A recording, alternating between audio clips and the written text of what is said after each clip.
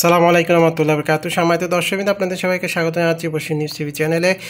একুশে সেপ্টেম্বর দুই হাজার বিশ তারিখে মালয়েশিয়া সরকারের মানব সম্পদ মন্ত্রণালয়ের মাননীয় মন্ত্রী দাতুক সেরি এম সারাবান এর সাথে তার কার্যালয়ে মালয়েশিয়ায় নিযুক্ত বাংলাদেশের হাই কমিশনার জনাব মোহাম্মদ শহীদ ইসলামের এক বৈঠক করেন।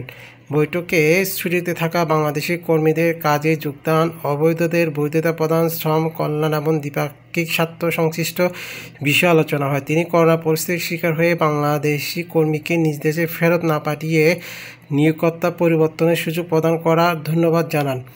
হাই কমিশনার বৈশ্বিক মহামারী করোনা পরিস্থিতির মধ্যেও বাংলাদেশি কর্মীদের বেতন প্রদান ছাড়ে না করা এবং সার্বিক সহযোগিতা করার জন্য ধন্যবাদ ও কৃতজ্ঞতা জানান তিনি। করোনা নিয়ন্ত্রণের সফলতার জন্য মালয়েশিয়া সরকারের প্রশংসা করেন। মন্ত্রী বাংলাদেশের দৃঢ়তার সাথে করোনা মোকাবেলার নেতৃত্ব প্রদান এবং বিদেশে থাকা বাংলাদেশি নাগরিকদের বিশেষ আর্থিক সহযোগিতা করার জন্য প্রধানমন্ত্রী শেখ হাসিনার ভূয়সী প্রশংসা করেন। হাইকমিশনার মালয়েশিয়া থেকে বাংলাদেশে ছুটিতে যাওয়া বাংলাদেশি কর্মীরা যাদের ভিসা আছে এবং ভিসা মেয়াদ শেষ হয়েছে তাদের সকলকে কাজে যোগদানের জন্য মালয়েশিয়াতে প্রবেশের অনুমতি প্রদানের জন্য অনুরোধ করেন।